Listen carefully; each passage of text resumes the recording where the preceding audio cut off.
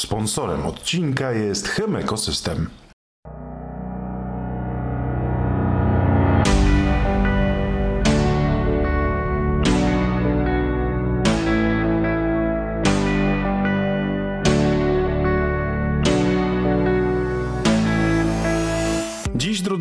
YouTubeowicze, zaprosimy Was na cudowną podróż, w którym pokażemy, jak rodzi się wielki sport, wielki wyczyn i wynik. Przyjrzymy się, w jaki sposób wykuwają się medale Mistrzostw Świata i Europy, naszych aniołków, naszej kadry żeńskiej 4 razy 400 metrów pod wodzą trenera Aleksandra Matusińskiego, który swą wiedzą i fachowością zaskoczył niejeden team na świecie. Nowoczesna technologia, biomechanika, ale i litry wylewanego potu na treningach. To wszystko widzieliśmy, tego wszystkiego doświadczyliśmy. Zapraszamy na nasz reportaż.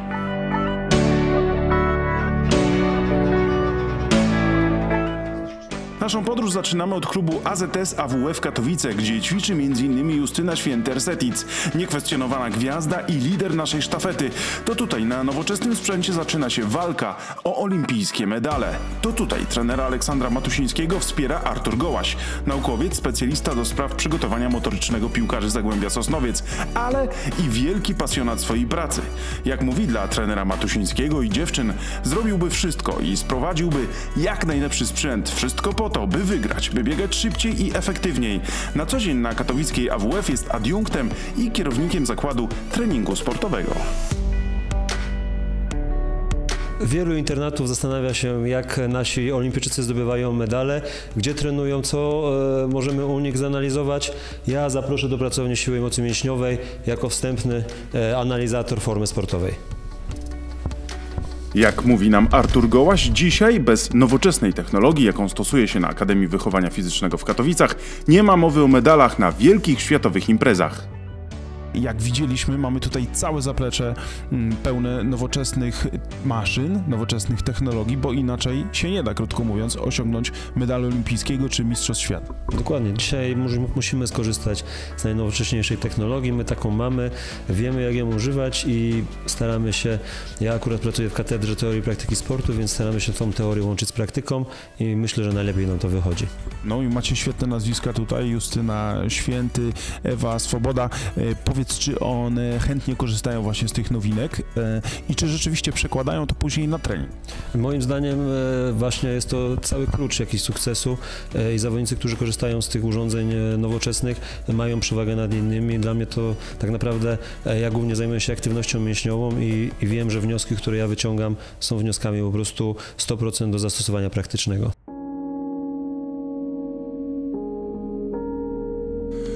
Z Katowic płynnie udajemy się do Zakopanego, gdzie trener Aleksander Matusiński już teraz zarządził pilne grudniowe zgrupowanie. W pięknej stolicy polskich Tatr ćwiczą nie tylko Justyna Święter-Setic czy Małgorzata Hołubkowalik, ale też całe młode zaplecze polskiej kadry.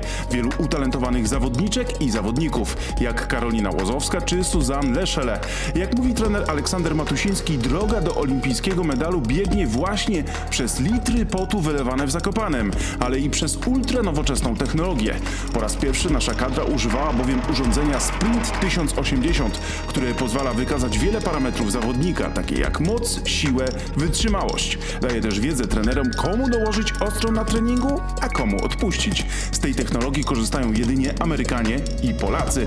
To urządzenie kosztuje około 100 tysięcy złotych. A z nami trener Aleksander Matusiński. Jesteśmy w Zakopanem, w Centralnym Ośrodku Sportu. Witam serdecznie, panie trenerze.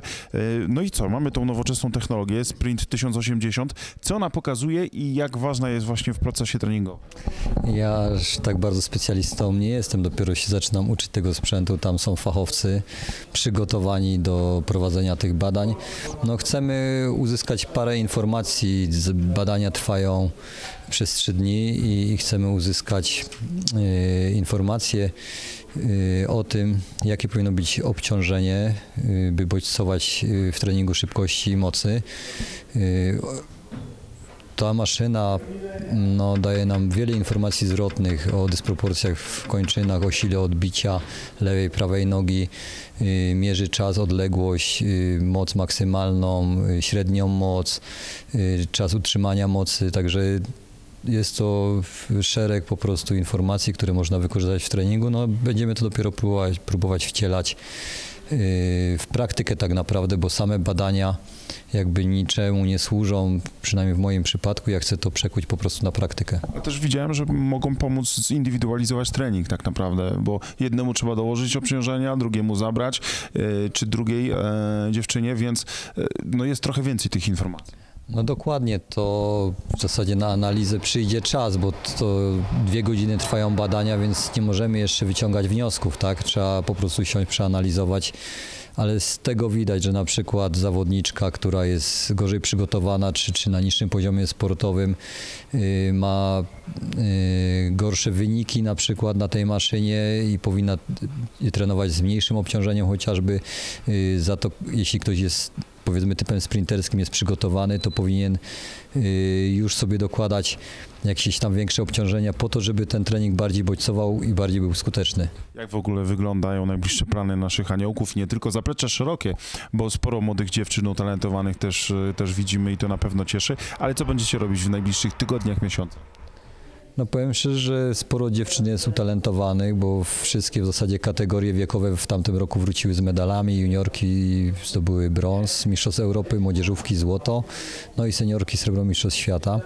Y, podzielimy się w styczniu, teraz jesteśmy prawie że do świąt tutaj w Zakopanem, bądź w Portugalii, w Montegordo. Później znowu się podzielimy, ten top pojedzie do RPA, tam gdzie zawsze to jest same stare, przetarte szlaki. Poczestrum, y, góry 1400 metrów. Będzie tam wielu świetnych zawodników z Polski, w zasadzie no, wszyscy najlepsi tak naprawdę. Y, część pojedzie do Spały, do hali. Y, no i jeśli będzie wszystko dobrze, to, to przejdziemy na pewno jakieś meetingi, mistrzostwa Polski halowe i później do decyzji indywidualnej, kto startuje na Mistrzostwach Świata, a kto nie. Nie upieramy się na halę w tym roku, ponieważ sezon późno się skończył, a priorytetem są igrzyska. Na pewno musiał być czas na wypoczynek po sezonie i w ten trening dopiero tak powoli wchodzimy, także no, na razie się nie deklarujemy. Jeśli chodzi o halę, na pewno pojedziemy na Mistrzostwa Świata, ale w, może nie w tym pierwszym składzie. Co trener w wolnych chwilach robi w Zakopanem? Jakieś y, te oscypki, wycieczki po górach, ale co 12 dni, no trzeba coś też robić, trzeba się jakoś rozerwać. Dokładnie, byłem dwa razy na nartach o. w Białce Tatrzańskiej i, i, jak się przyjechało o godzinie 9, to bez kolejek na Sztruksie to jest super odskocznia. Trening na 11, to także akurat zdążyłem sobie spokojnie. Wszystko trzeba yy, gdzieś tam dzielić, nie można tylko żyć samym sportem. Yy, Także osypka też zjadłem, byłem na krupówkach. No, w zasadzie mam tutaj dużo zajęć, bo dwa treningi dziennie, grupa jest dosyć duża i jest co robić tak naprawdę. Jak Justyna się czuje? Dużo kibiców pewnie, jak tam pogadaliście sobie, tak no wróciła po tym urlopie, więc zawsze te powroty takie mogą być trudne. Są ciężkie, zawsze u niej tym bardziej. Y, zwłaszcza, że jest na innym etapie przygotowań niż pozostałe dziewczyny, które już tam z 6 tygodni trenują i bardzo ciężko znosi treningi, ma wszędzie zakwasy, co chwilę się na mnie obraża i denerwuje, także no, nie ma zmiłuj się, jest, rok olimpijski i nie, to nie czas na odpuszczanie, po prostu no a wypocząć też musiała, także ten urlop na pewno bardzo szybko jej zleciał, był wyjątkowo krótki, ale myślę, że zadowolona wróciła i, i pełna energii do treningu. Z każdym dniem, tygodniem już ta gęsia skórka się pewnie będzie robić, co? No bo, no bo nie ma co ukrywać, cała Polska patrzy, chociaż też nie ma co presji sobie narzucać, ale rozmawialiśmy o tym wcześniej. Warto jednak sobie powiedzieć i mieć taką mentalność zwycięzcy, że jedziemy tam po swoje po prostu, dobrze przygotowani. No, jak będzie zdrowie, to dziewczyny będą dobrze przygotowane. Myślę, że to jest najważniejszy warunek. Y, wiemy, co robić, przygotujemy się i, i, nie wywieramy na sobie żadnej presji. Ten start jest, no, no, trzeba o nim myśleć, ale no, nie można na każdy trening wychodzić z myślą, że to jest trening, który zadecyduje o medalu igrzysk, ponieważ no, nikt by tego psychicznie nie, nie wytrzymał. Ten trening musi też sprawiać y, trochę przyjemności, że no, nie, nie biega się tylko za coś. Myślę, że te osoby, które tu są, te dziewczyny lubią, kochają to, co robią. Jest to ich zawód, ale no, nie jest to tylko takie podejście typowo materialistyczne. Widać w nich pasję, naprawdę. W każdej z nich to widać, że one po prostu kochają to, co robią i e, to jest fajne, no bo o to w tym w sporcie też chodzi. No przecież nie wszystkie zostaną mistrzyniami olimpijskimi, tak? Czy medalistkami mistrzostw świata, ale, no ale sport to też przygoda, to pasja, to życie. Dokładnie. No poza tym przyjechała telewizja, to muszą być uśmiechnięte, pomalowane, chociaż one o tym nie wiedziały, że tutaj coś się będzie działo oprócz tych badań ale no chyba, że przedczuwały i rzeczywiście chodzą uśmiechnięte, zadowolone. Myślę, że tak jest na co dzień. I tak pan mówi, no sport niesie za sobą wiele pozytywnych emocji, ma niesamowite walory i, i ciężko by się tutaj było doszukać jakichś minusów. Trenerze, i na koniec już do naszej kamery tutaj blogowej, co trener by powiedział, bo już mamy święta praktycznie zapasem y, naszym internautom właśnie na święta, kibicom, którzy trzymają kciuki za aniołki Matusińskiego.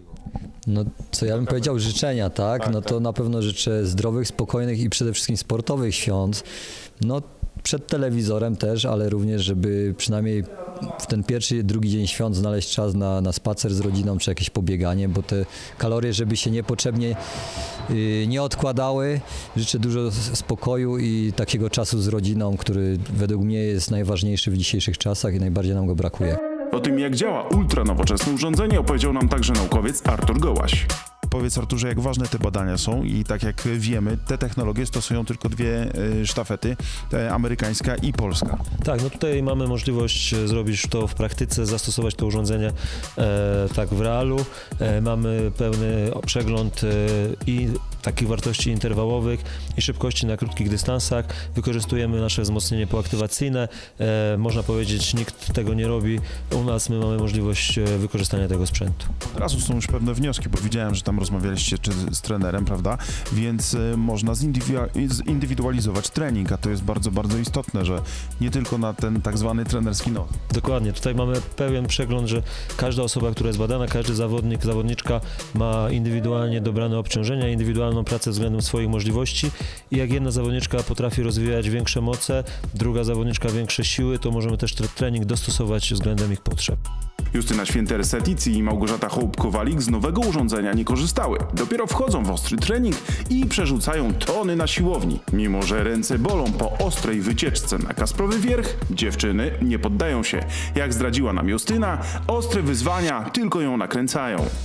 A z nami Justyna Święty Ersetic, czyli nasz najwspanialszy gość właśnie tutaj w Zakopanem. Witam cię serdecznie Justyna, kłaniam się. No i na początku zapytamy właśnie jak ty zareagowałaś na informacje o tych nowoczesnych badaniach, bo tam na urządzeniu typu Sprint 1080 będziecie testowani. Już wczoraj młodsze zawodniczki obserwowaliśmy jak, jak testują ten sprzęt. Jak ważne są takie badania i w ogóle taka nowoczesność w lekkiej atletyce? Bo wiemy, że y, z takiego sprzętu korzysta tylko amerykańska sztafeta i polska. Ponoć tak. E, Ja nie biorę akurat e, udziału w tych testach. No, troszeczkę jestem w tyle z treningami, potrzebuję więcej czasu, żeby dojść do siebie. Nie chciałabym, żeby właśnie na tych testach jakieś, jakaś krzywda mi się stała. Przede mną tak naprawdę najważniejszy rok w karierze. Dlatego e, staram uzbroić się w cierpliwość i, i czekam na, na lepszy moment, bo na razie ciężko, nie ukrywam, gdzieś mi się pozbierać po, po wolnym, po, po wakacjach, ale myślę, że te testy, zresztą nie tylko takie, jeśli mają ciągłość i powtarzają się cyklicznie, to myślę, że wiele mogą wnieść do, do treningu. No właśnie, bo technologia jest bardzo istotna tak naprawdę, bo e, właśnie Amerykanie to powtarzalność, na przykład to biomechanika, e, w związku z tym czemu nie czerpać e, od nich, bo trzeba przyznać, że patrząc na produkcję mistrzów w lekkiej atletyce w różnych dziedzinach, no to są świetni. Oczywiście nie mówię też o dopingu, bo tam oczywiście to też jest e, no, ważna kwestia, tak? Ale jednak trzeba przyznać, że potrafią taśmowo produkować mistrzów w różnych dziedzinach. E, Tak, nie ukrywajmy, że e, nie mamy się co porównać do, do Stanów. Troszeczkę tam zupełnie inaczej działa system, chociaż uważam, że e, w krajach europejskich już też to coraz lepiej wygląda, coraz lepiej funkcjonuje. I jak widać po, po wynikach, że gdzieś powoli depczemy po piętach pozostałej czołówce światowej. Także myślę też, że nowości w postaci jakichś testów i tak dalej, ale o to też, że trenerzy idą za nowościami, szukają jakichś nowych rozwiązań na, w treningu, y, słuchają bardziej zawodników, to gdzieś też przekłada się później na, na sukcesy. Zostawmy na razie technologię i testy, opowiedz nam o swoim wolnym. Czy odpoczęłaś sobie e, właśnie trochę, jak to wyglądało e, przed Zakopanem? 12 dni chyba tutaj obóz, tak? Czy jak to wygląda? E, Tak, tutaj około 12 dni obozu. Szczerze, czy odpoczęłam? Chyba nie do końca w tym roku. Ten sezon był bardzo długi, a trzeba było szybko powrócić do, do treningów, bo przed nami Igrzyska Olimpijskie, więc troszeczkę ciężko mi się jest teraz gdzieś wdrożyć w ten rytm na nowo, ale myślę, że już po tym obozie będzie coraz, e, coraz lepiej. Przed nami święta, więc myślę też, że jeszcze troszeczkę gdzieś tego luzu psychicznego załapię, a z nowym rokiem już myślę, że wrócę na pełnych obrotach. Gdzie odpoczywałaś, bo to może wielu internautów e, interesować, może ktoś się wybierze w te same rejony, co nasza mistrzyni. W tym roku postawiłam na miejsce y, bliskie, żeby nie trzeba było znowu gdzieś daleko podróżować. Byłam w Egipcie z najbliższą rodziną. Y, tak naprawdę miałam tam wszystko, czego mi było trzeba. Było ciepło, była, była woda, była plaża, także miałam czas, żeby odpocząć, troszeczkę pozwiedzać, a to jest to, czego potrzebuję w okresie wolnym. Egipt fajny jest, no tam dużo osób się trochę boi e, lecieć do Egiptu. Ja żonę próbuję namówić od dłuższego czasu, ale no mówi o tych zamachach terrorystycznych i przede wszystkim o tej florze bakteryjnej. Nic tam nie było, bo to tam różnie, różnie to wygląda. No, klątwa faraona wiemy, że różne historie się tam zdarzają. E, Tak, mi nic tak naprawdę nie, nie dolegało. Myślę, że to troszeczkę jest przereklamowane. Byłam z ekipą sześciu osób i nikomu nic naprawdę się nie działo. E, Myślę, że to, że też tam jest niebezpiecznie, też to jest e, po prostu rozdmuchane bardziej przez media. Nie czułam jakiegoś zagrożenia będąc tam. Myślę, że, myślę, że oni też muszą dbać o, o turystów, bo głównie z tego żyją i Będę wszystkim polecała to miejsce, jest co, co zobaczyć, klimat jest y, bardzo fajny, także zachęcam do wyjazdu. Kaczyną Poczak może zabierze się do Egiptu z Justyną już niedługo. Nie no, żartujemy, aż tak nie będziemy ci wchodzić w buty w życie prywatne.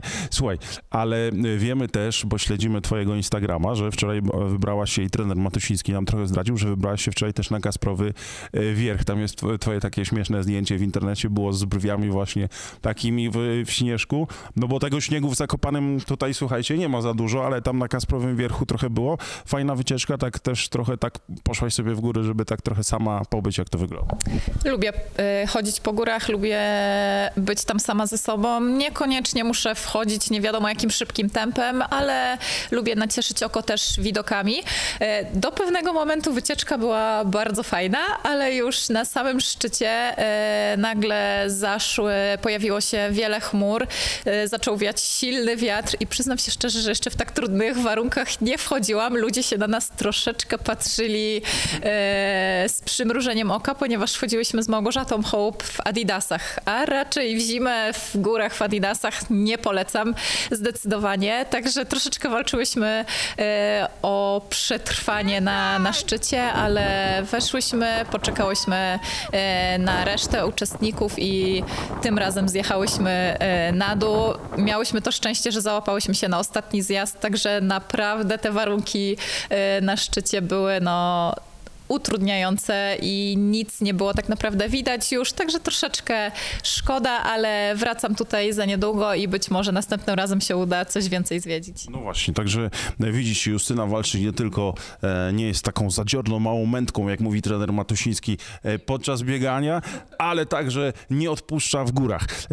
E, ale zanim jeszcze zapytam ciebie mm, o igrzyska, już same przygotowania i takie bardzo twarde rzeczy, to jeszcze jedna luźna rzecz. Wiemy, że chciałaś być piłkarką kiedyś, ale ja nie o to, nie o tym chciałem zapytać. Mm, e, e, Piłkarze mieli losowanie niedawno, Euro 2020, e, trudni rywale, Hiszpania, Szwecja, no i być może na przykład Bośnia. Jak ty widzisz, czy, czy piłkarze mają jakieś szanse twoim zdaniem? Tak pytam też po, po piłkarskie twoje pasje kiedyś, że chciałaś być piłkarką, to może coś nam zdradzisz jeszcze.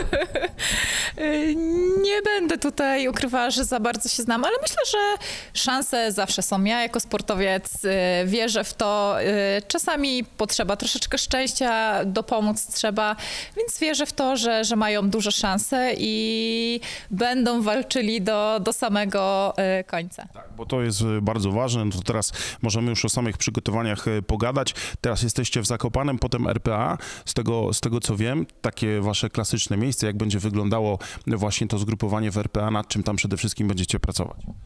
Y, no, tak naprawdę nie wiem. Zawsze już tam przechodziłyśmy z dziewczynami na pełne obroty. Teraz to troszeczkę myślę, że będzie inaczej wyglądało. Chociaż już, no nie ukrywajmy, te zgrupowania w RPA są zawsze bardzo, bardzo ciężkie. Wszyscy zawsze zazdroszczą tego miejsca, że jest tak fajnie, fajnie. Więc znowu to miejsce, one mi się kojarzy tak naprawdę z ogromnym cierpieniem na, na bieżni, bo tam wchodzimy już na szybsze obroty, a takiego wolnego biegania, z dłuższego ciężko jest tak nagle się przestawić więc powoli gdzieś szykuję e, swoją głowę do tego, że czeka mnie tam ciężka praca, ale myślę, że e, dzięki fajnemu towarzystwu, jakim, jakim będę miała ze sobą, będą ze mną dziewczyny, myślę, że będzie to dużo łatwiej przetrwać. Tam jest gorąco w tym okresie, kiedy lecicie, tak? Już tak naprawdę pod podupie tak, tak zwane płynie, czy, czy rzeczywiście jest trochę chłodniej? Bo tam, kiedy wylatujecie, w lutym, czy jak to wygląda? E, wylatujemy w styczniu, 9 stycznia i wtedy jest tam lato to jest piekielnie gorąco, tak. Czasami trener mówi, żebyśmy trenowały o 9 rano, tylko z jednej strony chce się wyjść o 9, żeby uniknąć tego słońca, ale z drugiej znowu trzeba dużo wcześniej wstać, więc są zawsze takie mieszane uczucia. Y, ale jak lecimy w marcu już tam drugi raz, no to wtedy już jest troszeczkę chłodniej, chociaż też zawsze nie, niekoniecznie, bo wtedy już jest zazwyczaj taka pora deszczowa, więc y, troszeczkę chłodniej jest, ale bywały też takie lata, że dawało też ostro w palnik. No właśnie, i z tym też trzeba sobie radzić, ale w Tokio nie będzie łatwiej tak naprawdę, bo tam będzie piekielnie gorąco. O tym też mówił trener Matusiński, że chyba w góry się gdzieś tam wybierzecie wcześniej, żeby nie być w samym Tokio za, za długo i w tej wiosce olimpijskiej, bo, mm, no bo nie ma co ukrywać, że, że ten upał może też mieć wpływ. Myślę, że tak, ale szczerze powiedziawszy, po Mistrzostwach Świata w Katarze ubiegłych, myślę, że już chyba nic mnie nie, nie zdziwi. Tak naprawdę ja jestem ciepłolubna, uwielbiam upały, ale no w Katarze było piekielnie gorąco i ciężko było funkcjonować normalnie na co dzień, więc jestem na to gotowa, że w Tokio też będzie gorąco, będzie na pewno wilgotno, będzie ciężko, ale myślę, że dzięki tym obozom, które będziemy miały z dziewczynami wcześniej, gdzieś się zaaklimatyzujemy i zniesiemy to dużo łagodniej. Właśnie, ale Ciono Poczach nie byłoby sobą, gdyby nie zapytało o kącik kulinarny, czyli co wyjecie na tych wszystkich obozach, czy to w, i już na samych zawodach, bo to też jest tak naprawdę bardzo istotne. Tęsknicie trochę za polskim jedzeniem, nie wiem, jakiś kucharz coś przywozi i tak dalej, związkowy.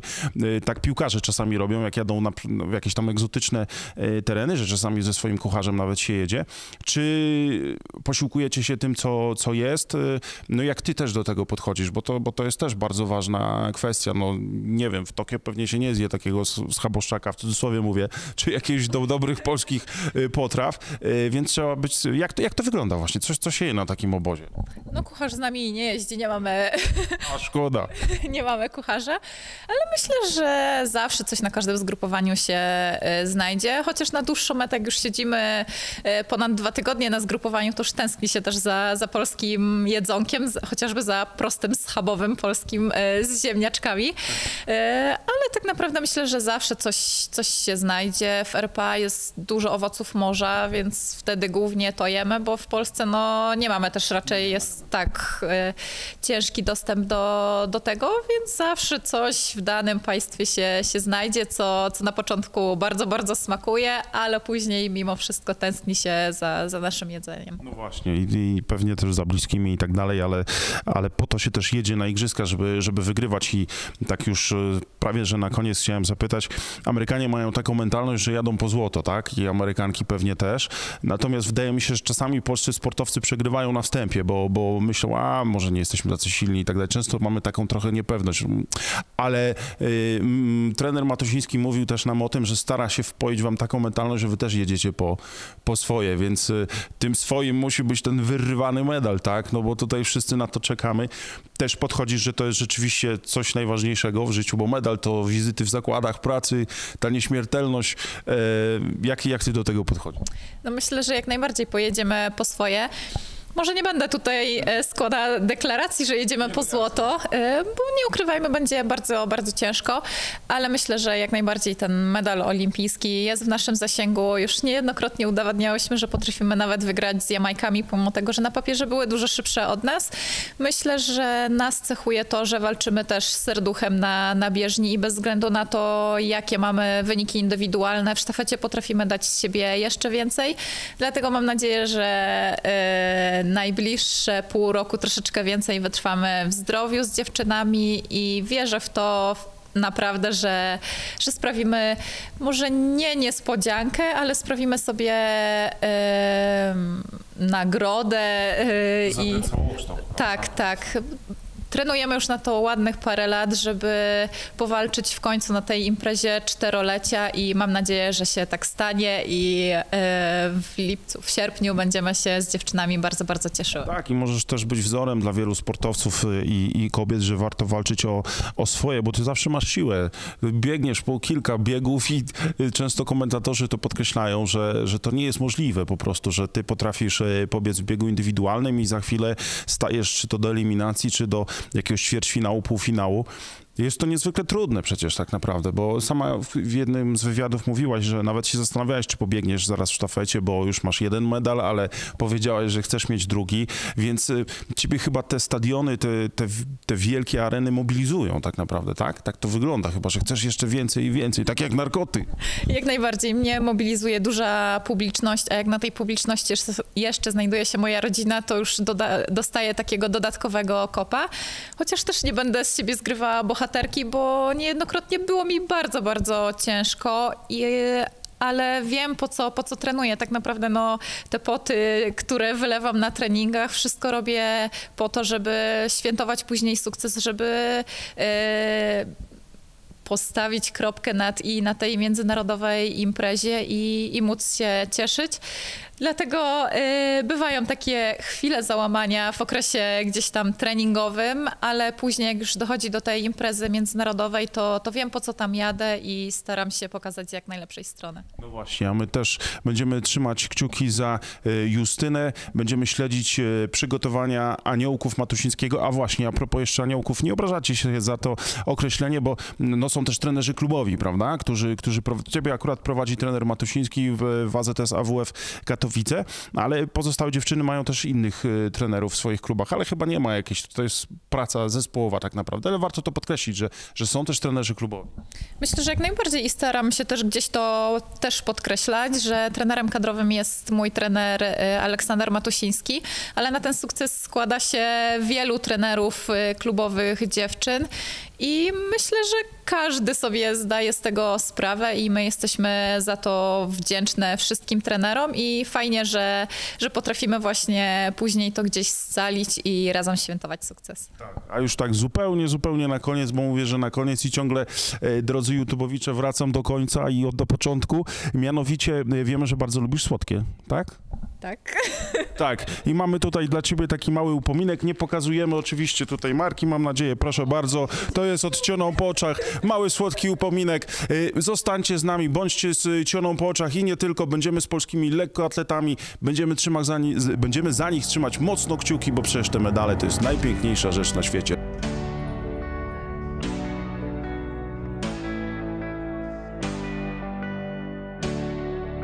Dla Małgosi Hołbkowalik niestety słodkości nie mieliśmy, ale wypytaliśmy ją o wiele spraw związanych z przygotowaniami do Igrzysk Olimpijskich. Małgorzata Hołbkowalik z nami wcioną po oczach, witam cię serdecznie. Dużo tego żelastwa trzeba było przerzucić. Widzi- Widziałem, że no, trudno było. No trening nie był łatwy, ale to jest taki ciężki okres dla nas przygotowawczy. Bardzo ciężki sezon się e, szykuje, dlatego no, trzeba ciężko pracować, żeby później były rezultaty. RPA, bardzo ważny obóz. Na czym tam, co będziecie robić i na czym się koncentrować przede wszystkim? E, no tam już będzie e, tak naprawdę praca na większych szybkościach, więcej. Teraz robimy taką bardziej pracę, pracę tlenową, wytrzymałościową. Tam troszeczkę bardziej, już będziemy to przekładać na nasz dystans, e, czyli te odcinki będą na pewno krótsze, szybsze, e, no ale też e, będziemy budować wytrzymałość szybkościową, która w naszym dystansie jest po prostu najważniejsza. No i wiadomo, też będziemy pracować na siłowni, no i tutaj już będzie jakaś tam siła biegowa na pewno, więc no praca tam zazwyczaj nam kojarzy się wyjazd do RPA nie z jakimiś przyjemnościami, tak jak e, reszcie się to wydaje, że super, jedziecie do RPA, w styczniu będzie ciepło, a my raczej myślimy o tym, że ojej, w styczniu będzie ciężka robota i, i będziemy, mówiąc po naszemu, umierać. O Jezu, mam nadzieję, że nie umrzecie tak do końca, bo przecież musicie zdobyć ten medal na igrzyskach. A tak mówiąc już e, zupełnie poważnie, co byś chciała powiedzieć internautom, youtubowiczom, którzy oglądają właśnie bloga Cioną po oczach, trzymają kciuki, jakie do nich masz e, tutaj słowa, może tak właśnie tuż przed świętami? E, przede wszystkim chciałam życzyć e, wesołych, e, spokojnych, rodzinnych świąt. E, kto był grzeczny, to może czekać na Mikołaja, e, bądź też e, Gwiazdora, tak? Gwiazdora. Gwiazdora, tak. E, e, kto nie był grzeczny, no to niestety rózga, bądź też tam węgiel, chyba niektórzy dostają na Śląsku. E, no i oczywiście e, szczęśliwego Sylwestra i żeby ten przyszły rok był i dla Państwa, i dla nas szczęśliwy, taki, w którym będą spełnić się wszystkie marzenia, ale najważniejsze myślę, że jest zdrowie i tego wszystkim życzę. Dla młodych zawodniczek z reprezentacji trenujących w Zakopanem aniołki są prawdziwym wzorem. Dziewczyny opowiedziały nam także o swoich wrażeniach związanych z ultranowoczesnym treningiem. Także korzystałaś z tej nowej technologii. Powiedz y, w ogóle, jak ten trening y, Ci się podobał? Rzeczywiście taki nowatorski? E, Oczywiście w sumie jest mi bardzo miło, że mogą z niego skorzystać, bo jest to jedyna w Polsce lub są tylko dwie takie maszyny w kraju, więc bardzo fajnie, że mogliśmy skorzystać. Mam nadzieję, że wyniki będą zadowalające. Dzięki temu będziemy mogli ulepszyć nasz trening, mm, no i dowiemy się czegoś nowego. Co to pozwala ulepszyć? Co to pozwala dowiedzieć się o sobie? Bo, bo to jest też y, ważne. Mówił trener Matusiński właśnie, że już nie trzeba na nosa coś badać, tylko można sprawdzić pewne określone parametry. Co to e, sprawdza właśnie u biegacza, biegaczki? E, tak, e, wystarczyło podać wzrost i wagę i dzięki temu mm, obciążenie e, zostało do nas dobrane. I dzięki temu będziemy mogli zobaczyć z jaką mocą, jaką moc generujemy w czasie biegu i jakie obciążenie będzie dla nas odpowiednie, żeby uzyskiwać jak największe, jak najszybsze czasy. To też wpływa na modyfikację treningu, prawda? Można się dowiedzieć, że coś się robi może źle e, i to wy, bezpośrednio wynika z programu, prawda? No bo a do tej pory można było się, nie wiem, może nad czymś zastanawiać, a nie wiedzieć po prostu. Tak, dokładnie. E, Dzięki temu będziemy mogli e, zbadać dokładnie, co, czego nam brakuje, co możemy ulepszyć. I bardzo się cieszę, że te badania mogliśmy zrobić.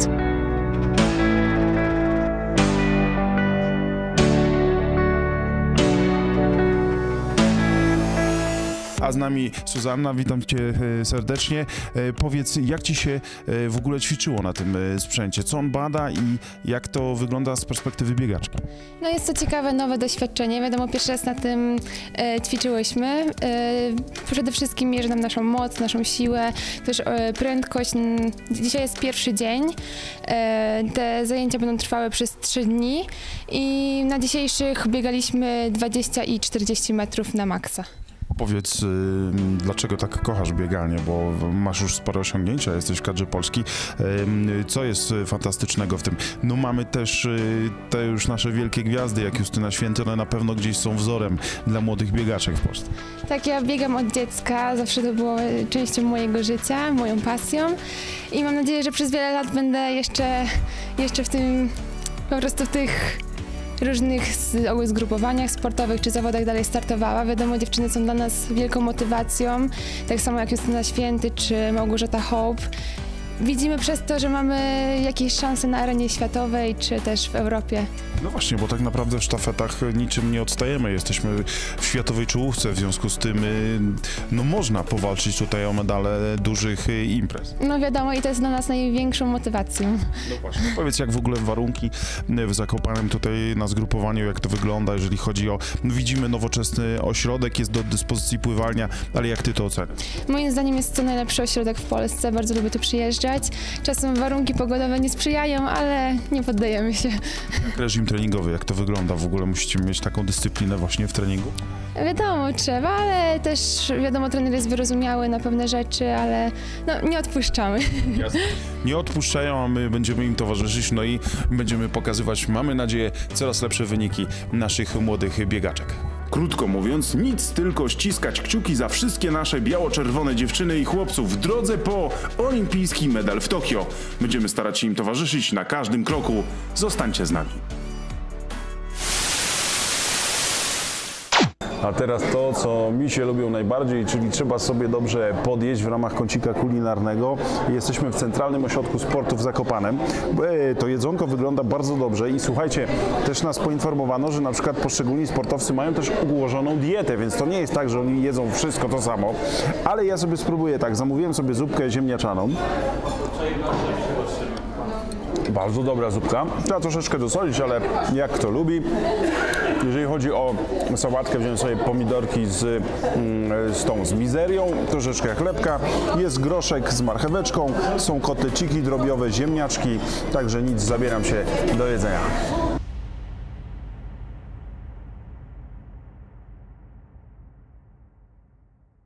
Sponsorem odcinka jest Chemekosystem.